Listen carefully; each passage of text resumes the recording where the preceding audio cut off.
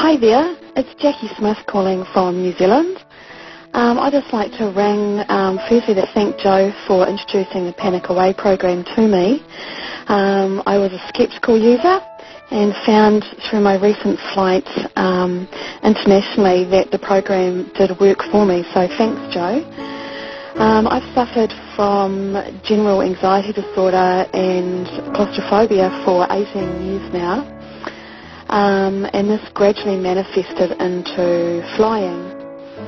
Um, I had gotten to the point where I was using a lot of crutches, i.e. alcohol and drugs to help me get through fearful situations, which I have learned is not the healthy way of approaching it or real with what is going on in, in my life. I'd gotten to the point where I'd said enough.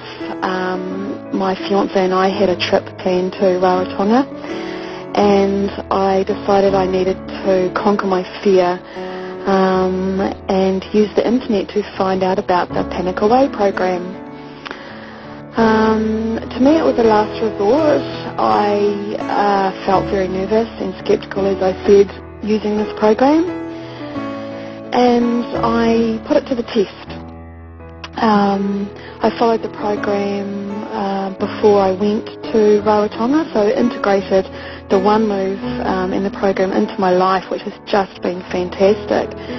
And through building various um, through building confidence in various situations, I've now got a record that I can reflect back on to know that, yeah, it does work and that I'm not alone with this.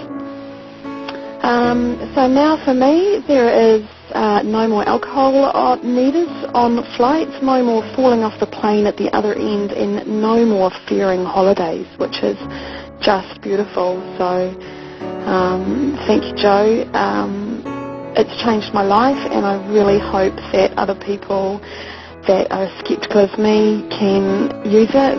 Um, I say this from a genuine anxiety sufferer, no longer. Thanks very much. Bye.